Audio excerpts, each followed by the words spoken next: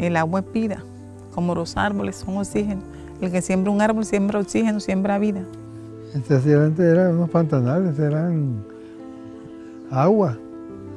Entonces cuando la compañía Oil Company vino, comenzó a canalizar todos esos canales que todavía lo abrió ella.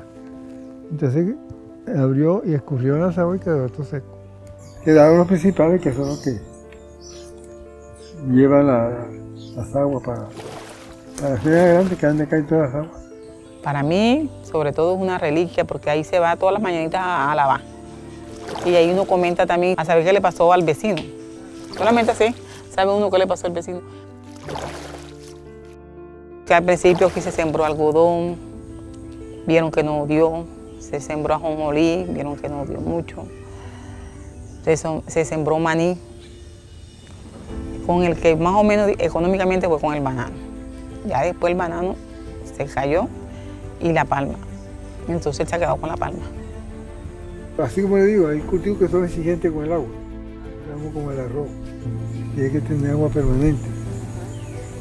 entonces los distritos no tienen agua para para darle para sembrarlo. Pero sembrar otro cultivo.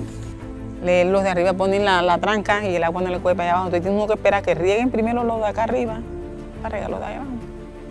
Ese es el problema. Porque yo me pongo a ver en verano pelear aquí los unos con los otros peleando el agua.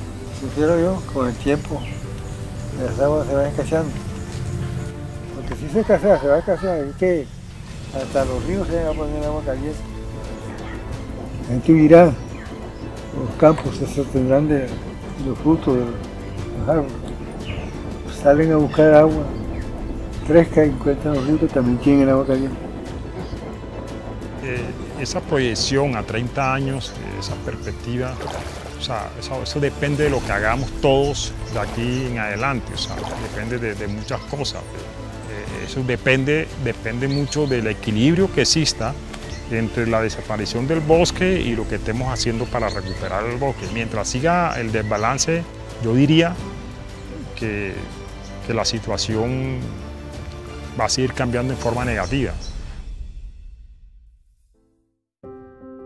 Las medidas que estamos tomando como para mitigar esa variación climática, mantener esas arbences nobles, aquellas plantas que tienen poca competencia con el cultivo del café, la reducción en el consumo de agua, en el proceso de beneficio.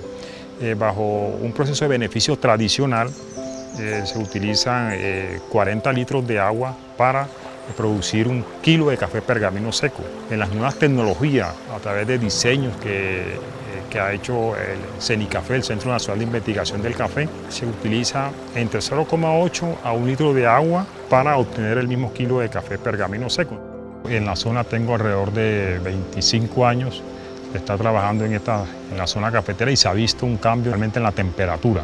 La nubosidad esta vereda se llama Vista Nieves. Hace 20, 25 años permanecía la, neblina en la vereda. Anteriormente se podía cultivar café a 600, 700 metros sobre el nivel del mar, 800 metros.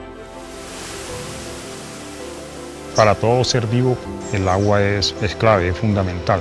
Los seres humanos, todo lo que hagamos este, incide de, una u otra manera en los cambios. Entonces deberemos, deberíamos todos, por ejemplo, concientizarnos eh, en consumir menos cosas.